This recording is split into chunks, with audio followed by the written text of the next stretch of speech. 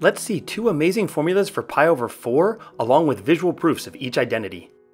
Start with a 7x5 grid, and inside the grid, draw a 5x5 right isosceles triangle. In the lower left corner of this isosceles triangle, we have an angle of pi over 4.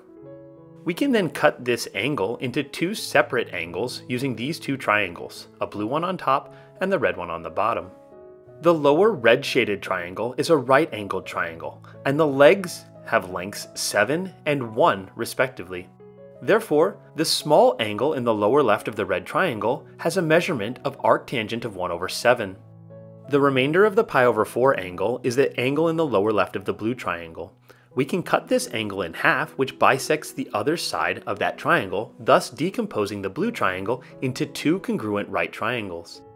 If we label one of the leg lengths of these two right triangles x, then we can check that the other leg length, which is the length of the diagonal line, must be 3 times that other side length, giving us a length of 3x. Therefore, the angle that was in the blue triangle, which is now made up of the two angles inside the purple and the dark red triangle, must be 2 times the arctangent of x over 3x. But we can simplify x over 3x to 1 third, and we get that pi over 4 equals the arctangent of 1 seventh plus 2 times the arctangent of 1 third.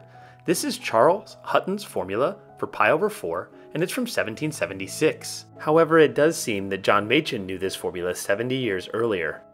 Alternatively, we can start with a 10 by 8 grid and draw an 8 by 8 isosceles right triangle inside so that the angle in the lower left of this triangle is again pi over 4. We can cut up the pi over 4 angle using three triangles this time.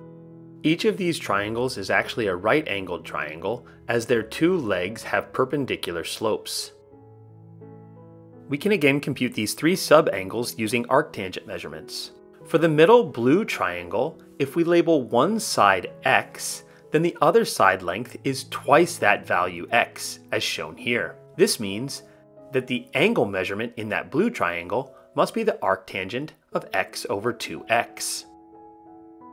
For the bottom red triangle, we see that this triangle has a side length of 10 and another side length of 2, Therefore, the small angle in the red triangle is given by the arctangent of 2 over 10.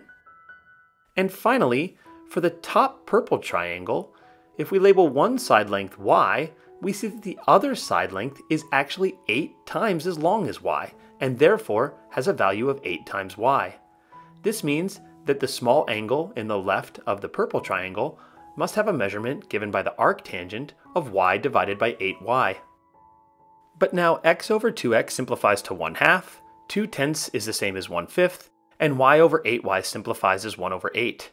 Therefore, pi over 4 is equal to the arctangent of 1 half plus the arctangent of 1 fifth plus the arctangent of 1 eighth. This identity is due to L.K. Schulz von Strassnitzky and is from 1844.